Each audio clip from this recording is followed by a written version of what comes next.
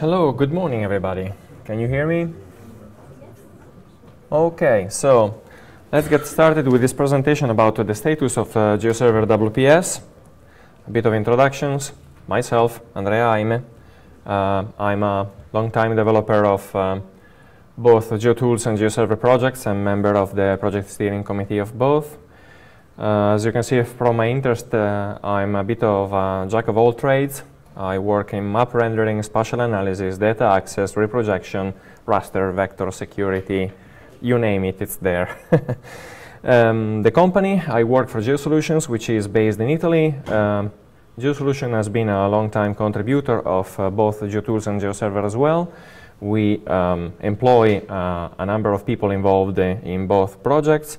We also employ some people involved in GeoNetwork, and we develop a MapStore, which is our open source front-end library to build uh, interactive uh, maps.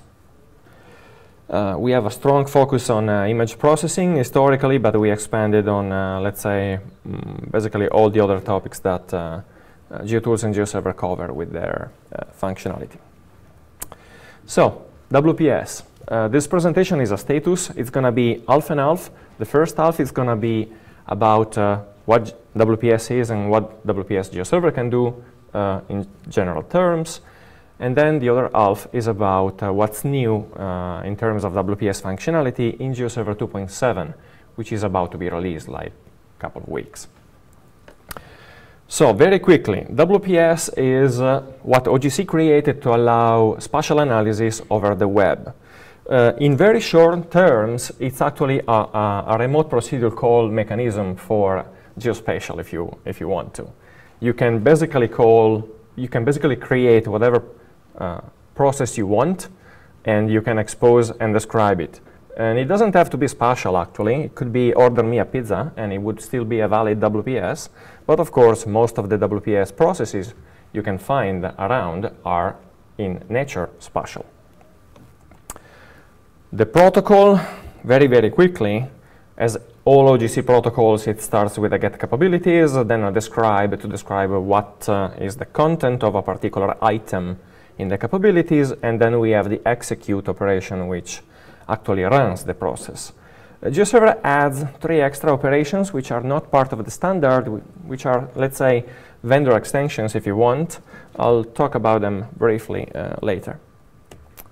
So get capabilities returns you a large XML document, if you compare with WMS and WFS, WPS does not contain data per se, but it contains processes, so a list of uh, actions that you can run on, on spatial data to extract some information, to uh, find uh, something, and so on, to perform some calculation.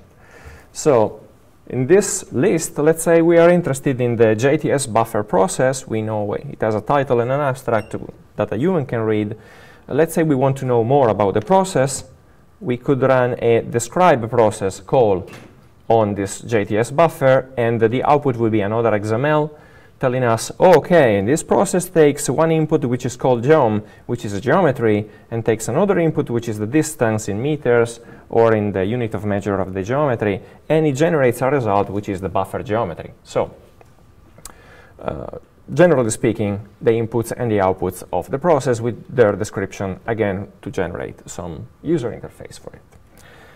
Finally, we go to, to the execute call, which is uh, what we, the, the, the request we issue when we want to actually execute a process. So we went through the discovery of the process, we went through the description of the process. At this point, we know how to call it, what it needs. So we are going to provide a geometry, a distance, and we uh, say that we want the output as GML31, and um, the process will take this L-shaped geometry, will apply a buffer of 2 and return me a, polygon. This is a very simple example. WPS processes can, as I said, do pretty much whatever you want.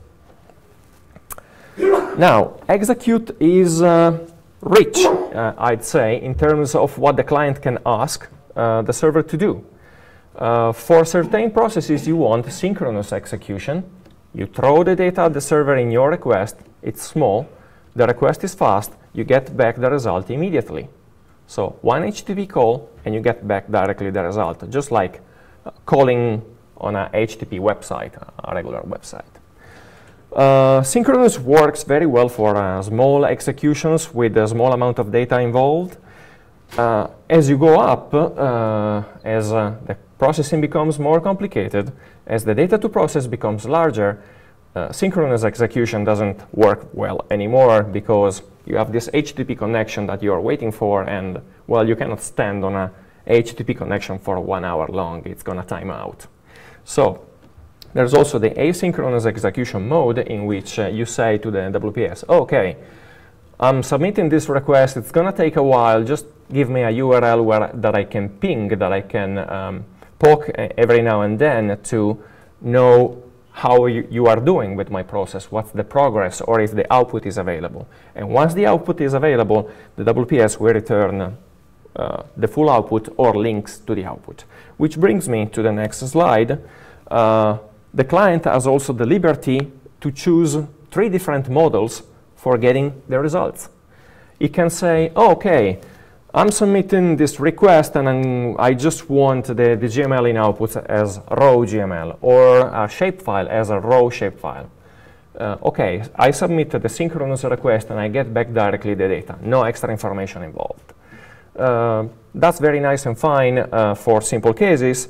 The alternative is that I submit a request, but I want to get back an XML that will describe the request that I made and also contain the result. So I have some reference to what kind of inputs I used when I submitted the request. Um, in the simplest case, the XML contains directly the output, which is fine if the output is small and text-based. Not so nice if the output is binary, because we have to base 64 encode it, so the, the result is going to be a bit chunky and ugly to look at. As an alternative, the client can also say, oh, okay, I, I will ask for the XML version, but please don't embed the result in the XML return. Give me links that I can use. And these links are pretty powerful because first, uh, the XML output is the only choice you have when uh, you are doing asynchronous. And you are doing asynchronous when you have large, large data, which might result in a large output. Um, so you don't want this large output embedded in, X in XML, of course.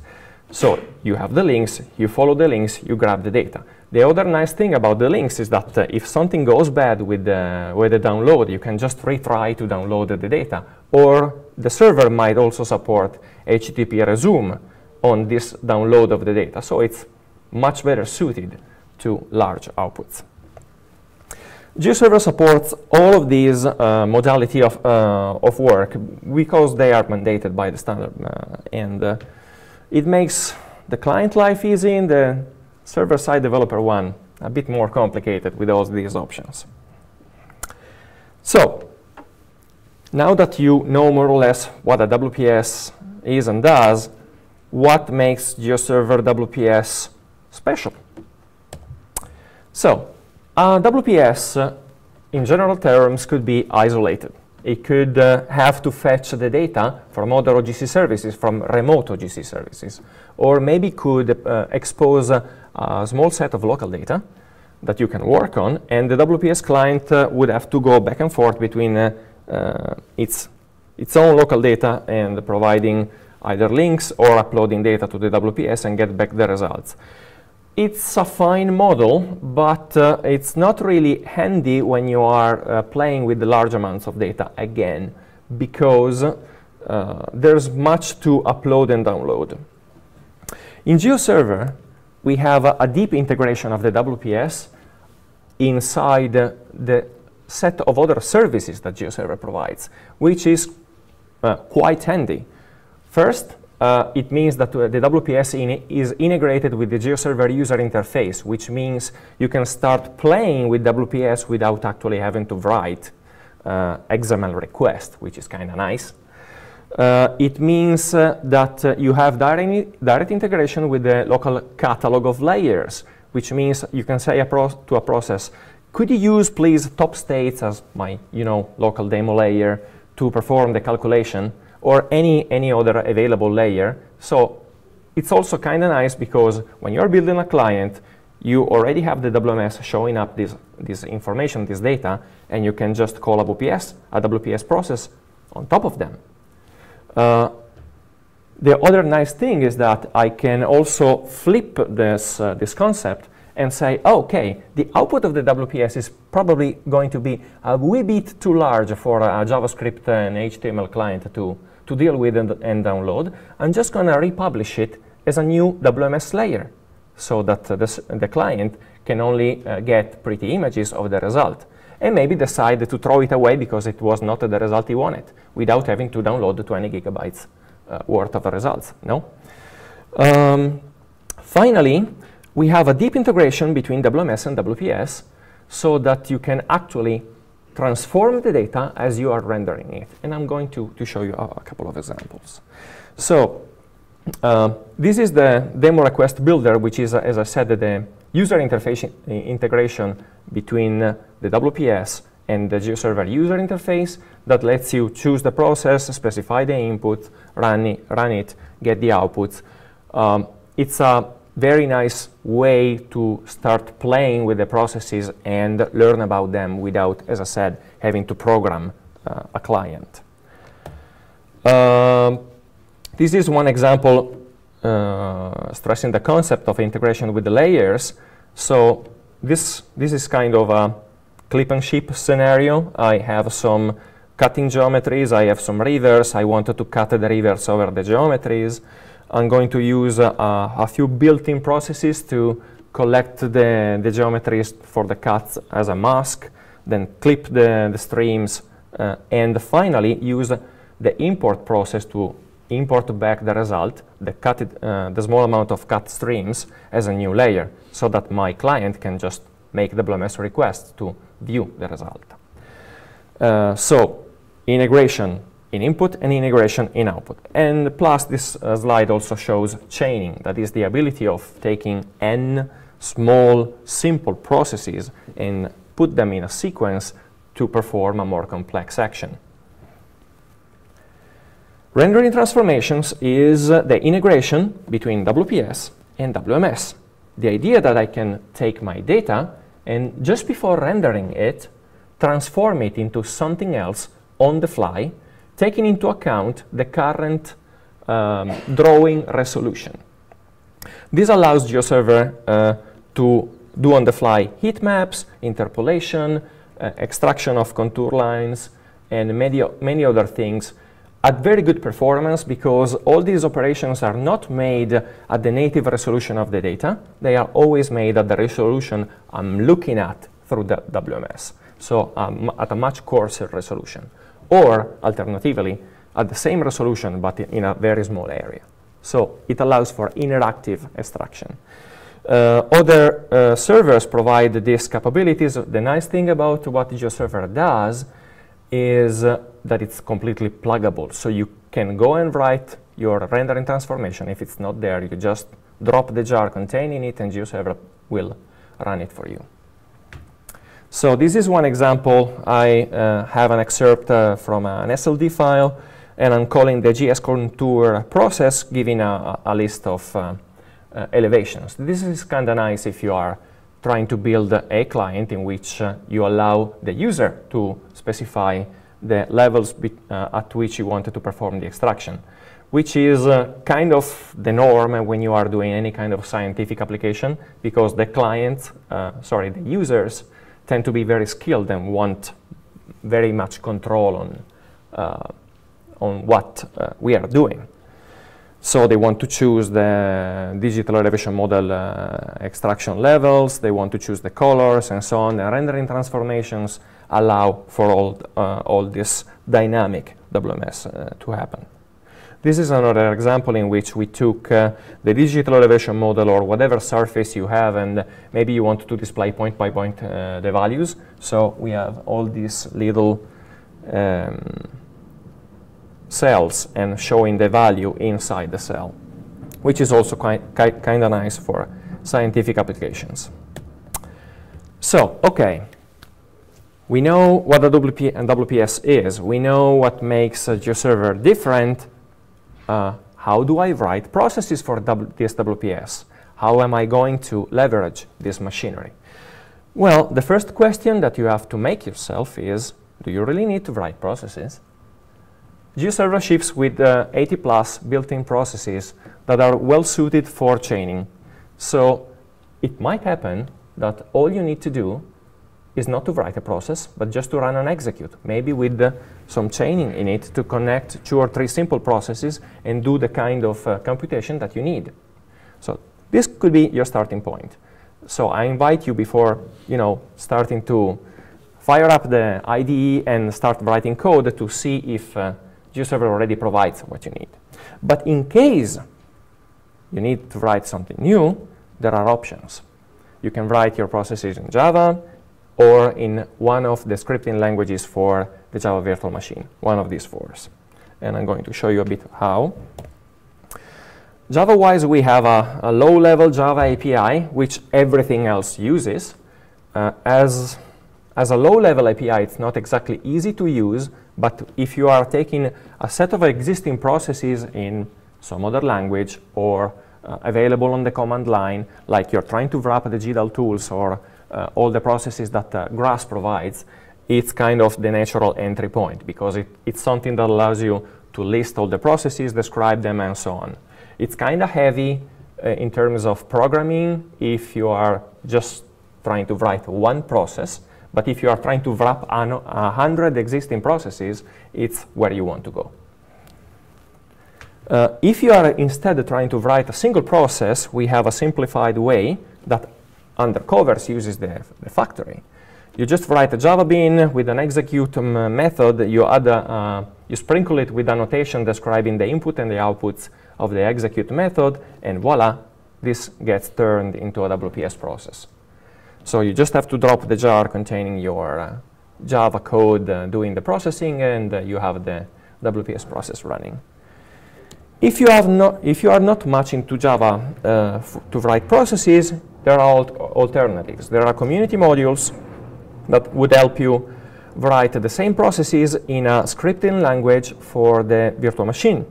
So you can use uh, Jython, JavaScript, Groovy, and so on. You just drop a file in the right directory and the process is ready to use. This is a simple example. Uh, this is a land use map and the client will uh, let you uh, draw a polygon and you want to know the distribution of each type of uh, land use within that polygon. So you would get something like this as the, as the result. The idea is that uh, you just have your source data, this is a shapefile in particular, you have one Python file which is your process, and uh, in this case uh, we also embedded the client, that is the HTML uh, uh, page plus the JavaScript inside your server because there's this www directory inside your server where you can put files that will be statically exposed to the web. Uh, this is all you have to do to uh, create uh, the, the result that we were looking at in terms of Python. As you can see, again, some annotations describing what the process does, and then some Python code that does the actual computation. Uh, this is using uh, GeoScript, and I linked uh, the page where you can learn more about GeoScript Python. And uh, um, if you are not into Python, uh, no problem. There is also support for Groovy, JavaScript, and, and, Ruby. So you have options. The nice thing, as I said, about the scripting languages is that you just drop a file in GeoServer and poof, you have the WPS process showing up in the, in, the, in, in the WPS capabilities, and describe and execution support. You remove the file, poof, the, the, the process is gone. You update the process and the um, uh, the description of the process changes. So it's very dynamic. You don't have to restart the server, unlike with uh, Java-based processes. Okay, so uh, what is new in GeoServer 2.7? GeoServer 2.7, as I said, is about to be released in less than two weeks. What do we have uh, new in terms of WPS? It turns out that thanks to NATO, we have a lot of, um, of new uh, functionality that, as I said, was sponsored by them. So, um, as I said before, in uh, GeoServer and in WPS in general, you can do asynchronous requests. So you make the request and then you ping back the server asking what's the status of my process? Is it finished? Is it uh, at 50%? What's going on? So, so far we had a problem. Uh, you basically could not uh, run a cluster of GeoServer installations uh, and do asynchronous at the same time because only the node that was running the process knew anything about it. And if you have a load balancer, there's a chance you are going to hit another node instead. You can use a stickiness, but it's kind of uh, uh, a nasty solution. Uh, in GeoServer 2.7, we created a couple of interfaces with the, their uh, default implementations process status store and process artifact store that allow the, the various nodes of a cluster to have shared knowledge of what's going on in terms of asynchronous processes. So if the process is running on my WPS2 node and I ask WPS1 about it, it's going to know, oh, okay, it's still running and it's, uh, it's a 50% and it's going to respond me correctly. When the process is done and uh, the, re the, results need to be dumped and make, made available to the client, we are going to go to the process artifact store and uh, again, every node in the cluster will be able to fetch them and return them to the client. So at this point, we have a seamless uh, ability to cluster WPS even on, uh, on top of uh, asynchronous request. Uh, just to mention it, the default implementation of the shared status is based on Hazelcast, and for the sharing of the, of the artifacts, the outputs, we use a shared file system-based approach.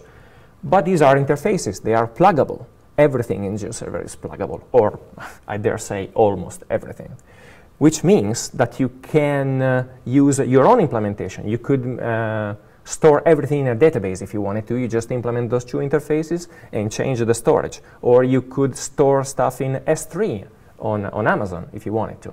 It's just a matter of choice.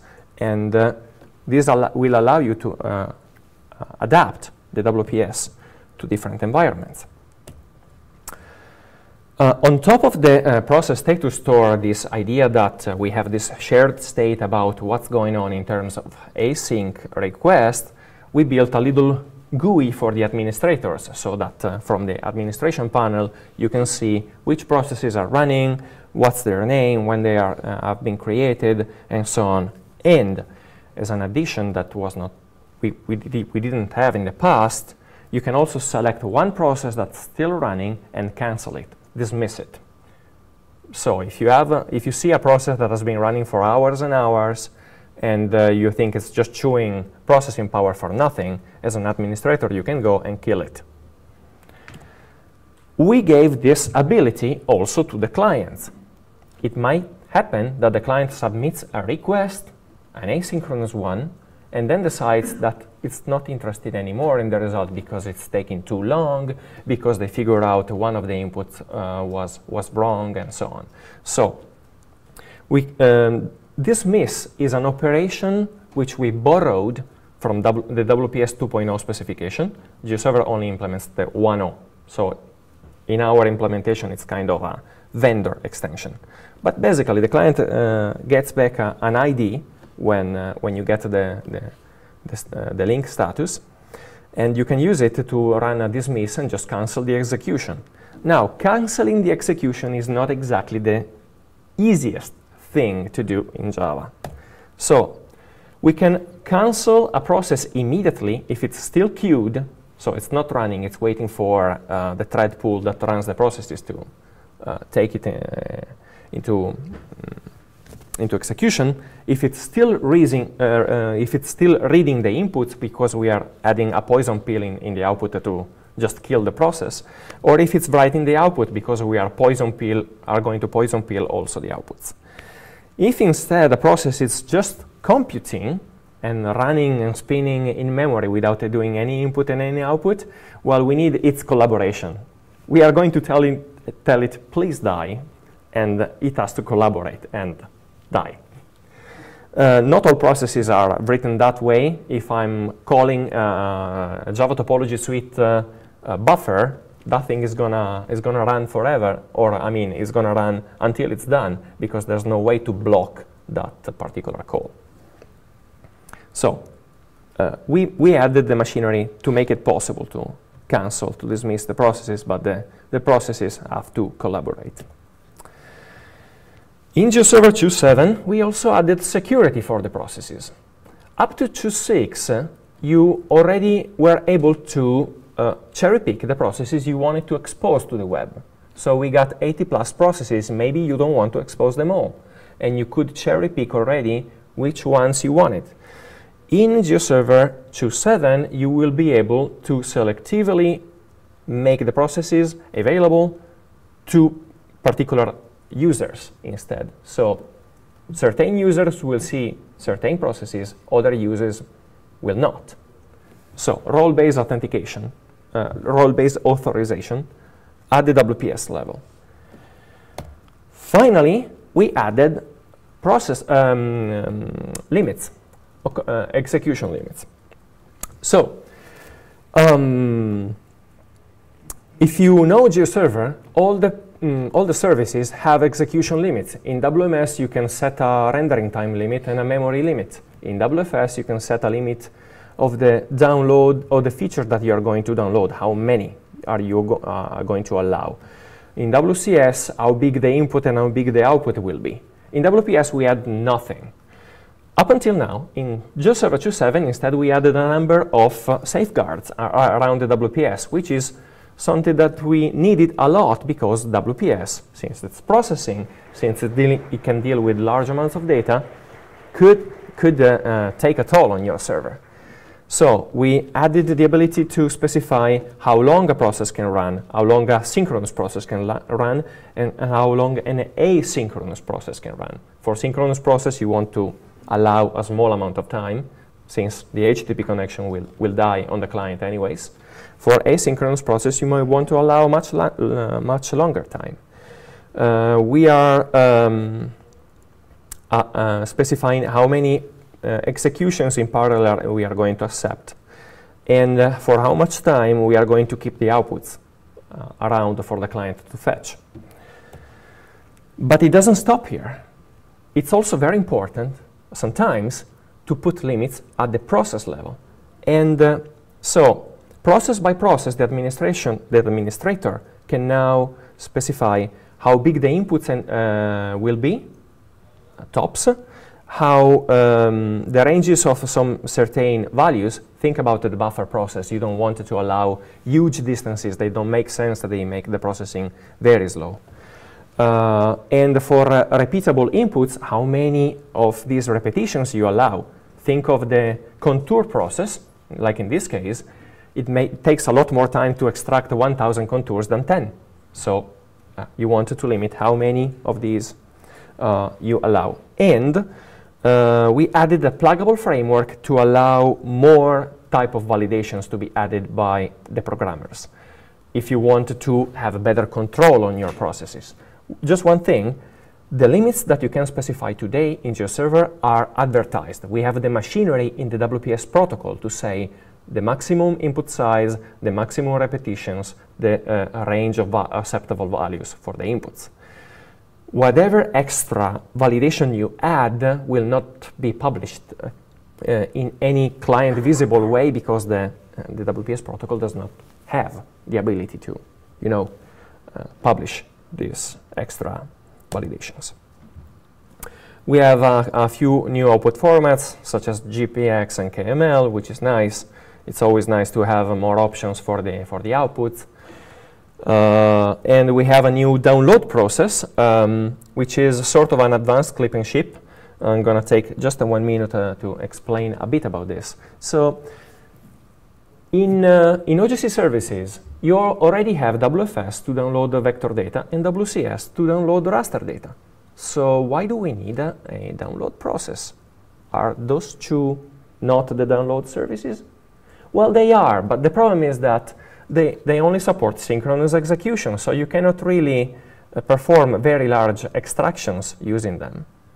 Uh, up until uh, a few tens of megabytes, they run just fine. But if you are trying to do an extraction of 20 gigabytes of data out of uh, 20 petabytes, uh, you cannot uh, just expect it to be able to, to wait on a single HTTP connection all the time. So WPS gives us asynchronous execution, we are going to leverage it. Plus, it's advanced clip and ship. So it's not just downloading data, it's about also clipping data.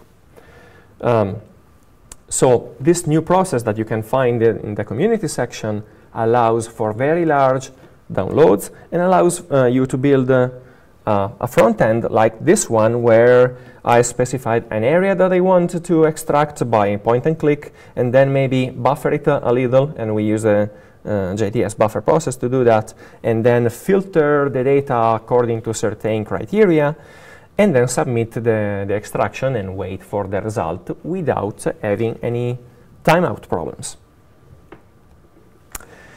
So this is what we have in 2.7. This is what we are going to uh, release in two weeks. What's cooking uh, for 2.8? We, uh, we just started to work on 2.8, but we already know a few things that uh, are going to show up. One is an OGR to OGR WPS output format support. So for all the uh, funky formats that we uh, don't support natively, we added the, the ability to call out onto OGR to OGR and generate whatever output format OGR to OGR support, which means tens of new, of new output formats. Uh, this is one uh, uh, very nice thing that we are uh, working uh, with uh, some scientific institutes. They got this very large weather model or fire um, um, dispersion model or pollutant dispersion model or snow level forecast and so on. They are normally written in MATLAB, Python, Fortran, whatever. They take their dear time to execute and they have their own hardware dedicated to the execution. They wanted to expose them as WPS processes so that they, can, uh, they are visible onto the web. We are creating this WPS remote module, which basically brings the two things together. And uh, basically, you stand up a little wrapper around your MATLAB code, code that uh, advertises this new process to GeoServer, and GeoServer starts saying, oh, okay, I have a, a snow uh, level forecast model now. And uh, when the request comes in, it informs the processing node about it, fetches the, the result, and uh, in case you are interested, at the end of the execution, it also pushes the, uh, the result into GeoServer as a new layer. Uh, using the importer API, which is a, a, an extra module which you can have in GeoServer. So this is a mm, very nice way to uh, expose your existing large uh, processing abilities uh, via WPS without hogging the, the WPS front end itself, but keeping everything in, in its own dedicated machine. Uh, there will be more WPS integration. We are thinking about an automation module that uh, will uh, run WPS processes uh, every now and then, so periodically. Um, which with focus with, uh, on uh, data ingestion, like you are getting a Landsat image every 15 minutes. We wanted this automate uh, thing to take the Landsat image, process it, it process it uh, a bit like uh, maybe simple stuff like uh, add the overviews, reproject it, and so on, clean it up a bit, and then publish it as a, as a new layer or as a new entry in a, a time-based mosaic. Um, Another thing is doing the opposite. We have this importer module that allows us to take some data that maybe GeoServer does not understand natively, like JSON, not as in uh, not as a data store. And uh, you take the JSON and you import it and you turn it into a shapefile or import it in PostGIS. And sometimes you want to do some transformations in this uh, between uh, the input and the output.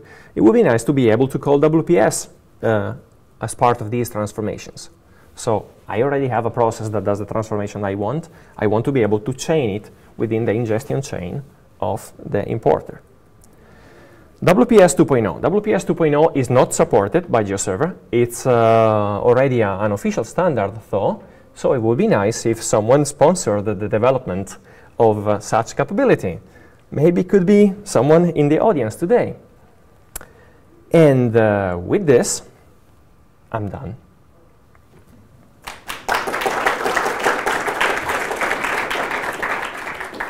Uh, before I take questions, the PDF of this presentation is already available on uh, the website, so you can uh, download it. And please remember to go and uh, evaluate the session. Questions? Um, yeah, I just have a quick question about um, the different formats for uh, WPS scripts in, in Java. If, if you had like an identical workflow in, um, you know, Python and the low-level Java API Ruby, are there any performance considerations, like uh, things that, languages that you recommend or that you shy away from for, you know, raster processing or vector processing? Are they all equal? No, they are not all equal. Uh, so, in, in our company, we do uh, lots of high performance uh, computation, and we tend to do all of it in Java using JAI or GeoTools as the API. I recommend using Python, Groovy, JavaScript, and Ruby for anything that is more like gluing together uh, capabilities that some Java code already provides to you instead. So, you know, it's like the relationship between Python and C. If you want uh, uh, things to perform, that you write them in C and then you wrap them somehow in, uh, in, uh, in Python, or you call to NumPy, which is, again, sometimes a wrapper around C code and so on. So keep the heavy part in Java and do all the gluing that you need in whatever scripting language you want. If it's not performance critical, do, please do everything in, uh, in Python if you like it, but if it's performance critical, it's not going to be as fast as if you had, had written it in Java. Anything else? Uh, what projects have implemented WPS 2.0? Good question. I have no idea. Um, I, honestly, I don't know. Uh, probably 52 North, because they are always involved with the, the specification uh, development itself. Yes? Let's uh, once do the WPS and then user clip it and then user can download. Yes. Yes, this, uh, this process here, uh,